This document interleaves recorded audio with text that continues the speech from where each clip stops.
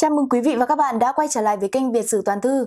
Quý vị thân mến, năm 1963, Tổng thống Việt Nam Cộng hòa Ngô Đình Diệm cùng em trai là Ngô Đình Nhu đã bị sát hại trong một cuộc đảo chính của các tướng lĩnh bất đồng chính kiến trong quân đội miền Nam Việt Nam. Và người có công lớn làm sụp đổ chế độ Ngô Đình Diệm không ai khác, đó chính là một cậu bé đã sống sót qua nạn đói năm Ất Dậu, rồi trở thành người lính giáo phái cao đài với nhiệm vụ quan trọng là ám sát cho bằng được Ngô Đình Diệm. Vậy người tử tù đã làm sụp đổ chế độ Ngô Đình Diệm là ai? Liệu rằng đây có phải là lúc lời tiên tri về sự sụp đổ của chế độ Ngô Đình Diệm đã ứng nghiệm hay không? Hãy cùng Việt Sử Toàn Thư đi tìm hiểu ngay sau đây nhé!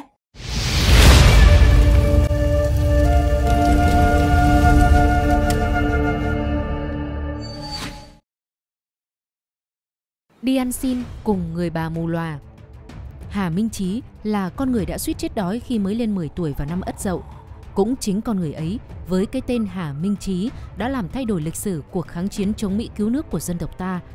Ông tên thật là Phan Văn Điền, sinh ra trong một gia đình nông dân nghèo ở xã Nghi Thiết, huyện Nghi Lộc, Nghệ An. Khi cậu bé Điền lên 5 tuổi, cha cậu, ông Phan Văn Đồng, tham gia một cuộc binh biến ở Đô Lương và bị bắn chết. Một năm sau, mẹ cậu đi lấy chồng khác, bỏ lại đứa con nhỏ sống với bà nội mù lòa Mùa đông năm 1944, vụ mùa quê cậu bị thất bát vì thiên tai, hũ gạo, rồi ít khoai sắn tồn trữ cứ vơi dần. Chống chọi qua được mùa đông, cả làng không còn gì để ăn. Để không phải chết đói, ban ngày hai bà cháu dắt díu nhau đi ra phía cầu Bùng, huyện Diễn Châu ăn xin. Tối dắt nhau chui vào cái lô cốt dưới chân cầu để ngủ. Lúc đó ở gần cầu Bùng có một đồn trú quân của quân đội Nhật. Hàng ngày, bé Điền dắt bà đi ăn xin ngang đồn bót của quân Nhật đóng. Thỉnh thoảng, lính Nhật cũng cho ít thức ăn thừa. Bé Điền học được những câu chào hỏi thông thường bằng tiếng Nhật. Nhờ vậy mà lính Nhật trong đồn có cảm tình với cậu, chuyện ăn xin trở nên thuận tiện hơn. Cứ thế, một bà lão mù và đứa cháu nội tuổi lên 10 đã chống chọi vượt qua nạn đói khủng khiếp làm gần 2 triệu đồng bào ở một nửa đất nước thiệt mạng. Giữ ngựa cho lính Nhật là một cậu bé mới lớn, nhưng Phan Văn Điền cũng có ý thức căm thù giặc Pháp xâm lược, vốn đã được cha mẹ truyền lại từ nhỏ. Khi thấy quân Nhật đánh thực dân Pháp, bắt trói lính Pháp dắt đi ngoài đường, lòng dạ cậu bé rất hả hê. Thấy những người lính Nhật cũng màu da vàng và dáng vóc nhỏ thó giống người Việt Nam, nên cậu bé Điền có thiện cảm. Lính Nhật đi chiến đấu xa gia đình lâu ngày, khi thấy những cậu bé con Việt Nam dễ mến thì cảm thấy thích thú, kết thân, cho bánh kẹo, đồ ăn. Nhờ vậy mà cậu bé Điền lam lũ, nghèo khó nhưng dạn dĩ đã trở thành người bạn nhỏ của những người lính đến từ đất nước Nhật Bản.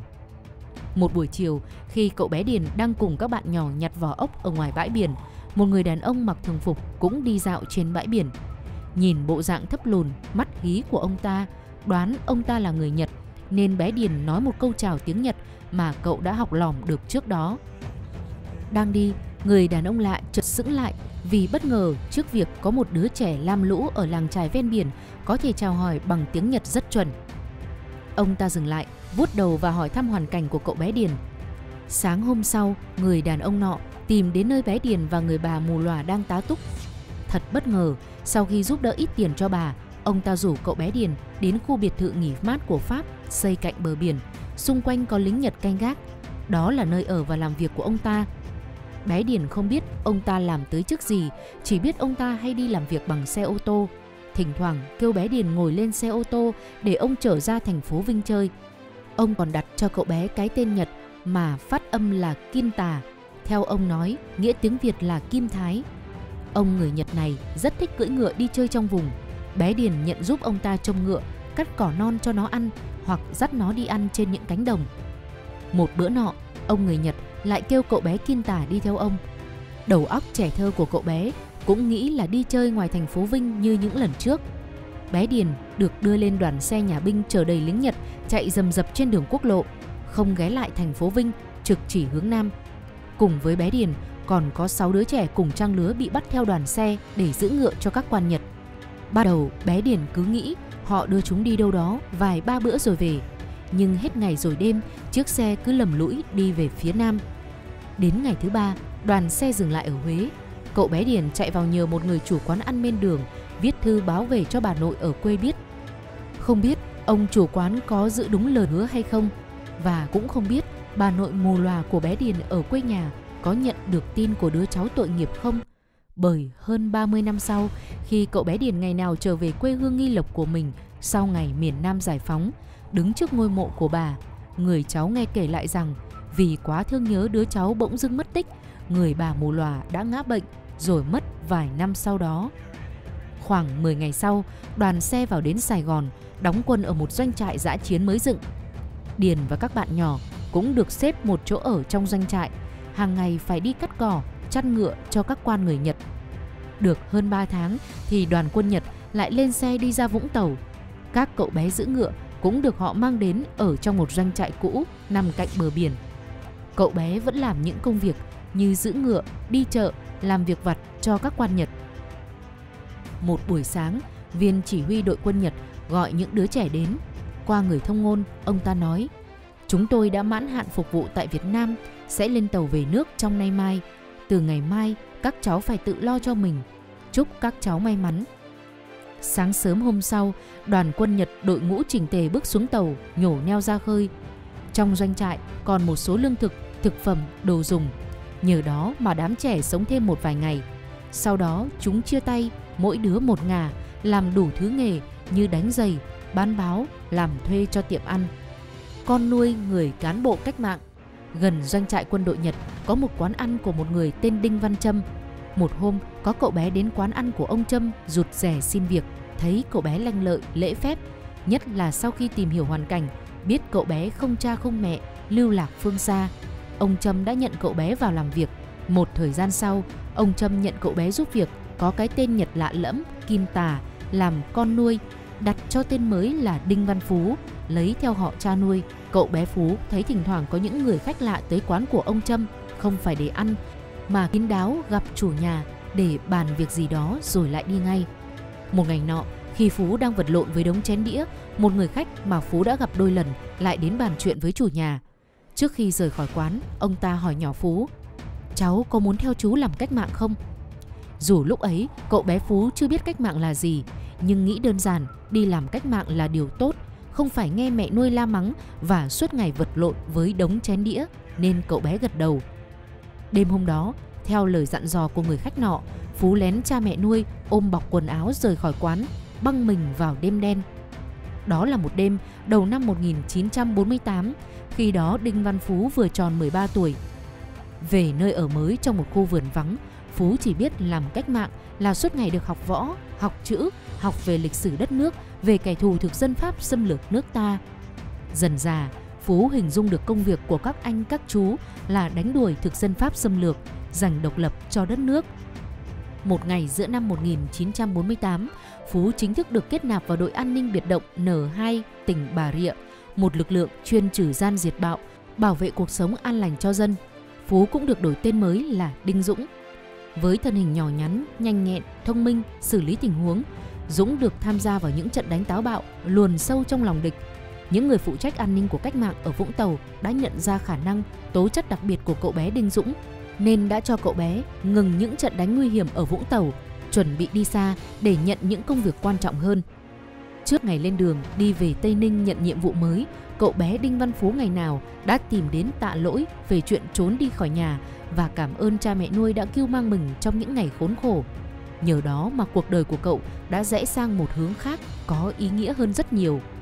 Ông Đinh Văn Trâm xúc động khi biết đứa con nuôi ngày nào giờ đã là một chiến sĩ biệt động chững chạc, gan dạ, đi cùng con đường kháng chiến cứu quốc với ông. Chuyến xe đò buổi sớm chạy về hướng đất liền, mang theo người chiến sĩ biệt động trẻ tuổi, lên đường nhận nhiệm vụ đặc biệt để rồi chính anh sẽ trở thành quả bom nổ tung chính trường Sài Gòn trong thập niên sau đó. Thưa quý vị, như vậy, ông Hà Minh Chí chính là người đã nổ phát súng trên cao nguyên, ám sát Tổng thống Ngô Đình Diệm tại hội trợ kinh tế cao nguyên. Có thể thấy, từ năm 1960 đến năm 1965 là giai đoạn cực kỳ bất ổn của nền chính trị Việt Nam Cộng Hòa, với hàng loạt vụ đảo chính do giới quân sự tiến hành. Trước cuộc đảo chính năm 1963, sử sách còn ghi nhận cuộc đảo chính quân sự đầu tiên vào năm 1960 do Đại tá Nguyễn Chánh Thi và Trung tá Vương Văn Đông đứng đầu. Vậy cuộc đảo chính năm 1960 diễn ra như thế nào? Hãy cùng Việt Sử Toàn Thư đi tìm hiểu ngay sau đây nhé! Tham dự đảo chính ngày 11 tháng 11 năm 1960, thiên hạ chú ý nhiều vào những vai lãnh đạo của Nguyễn Chánh Thi, Vương Văn Đông. Nhưng cho đến nay, vấn đề ai là nhân vật nắm vai trò thực sự trong cuộc đảo chính cách đây hơn nửa thế kỷ vẫn chưa có câu trả lời dứt khoát, rõ ràng hoàn toàn. Phần thì nhiều kẻ trong cuộc đã về với tổ tiên nên không có nhiều người có thể chứng thực được cho điều thiên hạ bàn luận. Nhưng phần quan trọng hơn cả, những người đóng vai quan trọng trong cuộc đảo chính ngày 11 tháng 11 năm xưa lại tranh nhau nhận mình là kẻ khởi xướng, chỉ huy cuộc đảo chính nhằm vào chính thể chế mà mình phụng sự. Và cuộc tranh cãi quyết liệt về vai trò đứng đầu thuộc về Nguyễn Chánh Thi và Vương Văn Đông. Thời điểm diễn ra đảo chính, Nguyễn Chánh Thi 37 tuổi, cấp hàm đại tá, còn Vương Văn Đông 28 tuổi, cấp hàm trung tá. Xét về tiếng tăm cũng như độ dày dặn kinh nghiệm binh nghiệp trận mạc lại thêm thành phần tham gia đảo chính chủ yếu là quân dù nên ưu thế về mặt danh nghĩa rõ ràng là nghiêng về phía Thi nhiều hơn. Sau năm 1975, khi sống ở Hoa Kỳ, Nguyễn Chánh Thi đã xuất bản hồi ký Việt Nam Một trời tâm sự năm 1985 đọc qua thiên hồi ký của cựu trung tướng chế độ Việt Nam Cộng Hòa, người đọc dễ nhận ra rằng độ cảm tính trong hồi ký của Thi rất cao và một hình tượng anh hùng như kiểu Lương Sơn Bạc trọng nghĩa, coi khinh tiền tài vật chất chính là điều mà Nguyễn Chánh Thi đã dựng nên cho chính mình. Trong khi đó với dư luận thì ủng hộ vai trò làm lãnh đạo đảo chính của vị tướng dù này. Như nhìn lại biến cố, ngày 11 tháng 11 năm 1960 đã hết lời ca ngợi những phẩm giá của Nguyễn Chánh Thi. Có đoạn Nói đến tướng Nguyễn Chánh Thi, chúng ta nhớ ngay đến một con người hào hùng, hiên ngang, thẳng thắn, bộc trực, một con người ghê tởm và thủ ghét những thủ đoạn gian manh lắt léo. Và sách này xét từ tính cách của Nguyễn Chánh Thi sau khi khẳng định người lãnh đạo đảo chính không ai khác chính là Thi. Dư luận miền Nam sau này đa phần cho rằng Nguyễn Chánh Thi là người lãnh đạo cuộc đảo chính và thể chế nhà họ Ngô.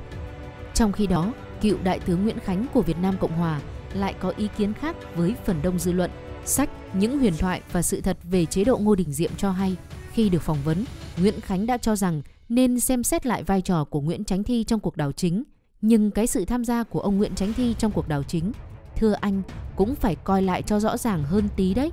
Nó không phải như ở ngoài người ta nói đâu.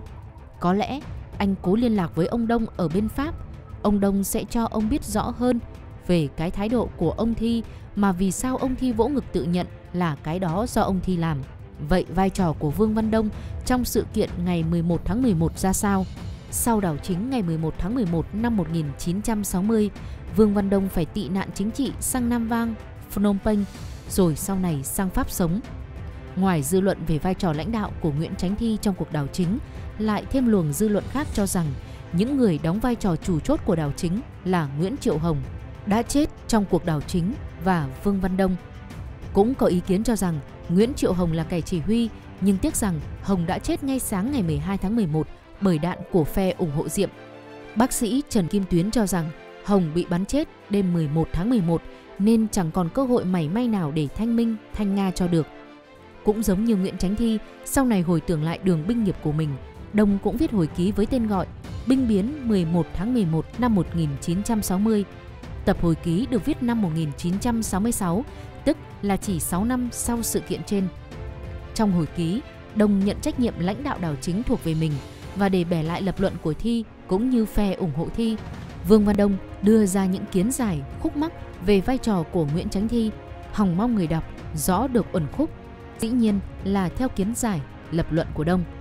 Theo lời kể của Vương Văn Đông thì chỉ có vai trò phụ trong cuộc đảo chính mà cụ thể là trong ngày diễn ra đảo chính, Nguyễn Chánh Thi bị phe đảo chính của Đông Hồng bắt phải theo phe đảo chính để vận động lính dù do Thi chỉ huy.